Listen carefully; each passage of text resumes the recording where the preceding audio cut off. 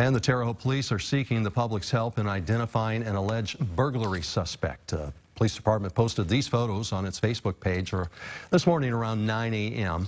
Anyone with information is asked to call Detective Farron Stevens at 812-244-2249.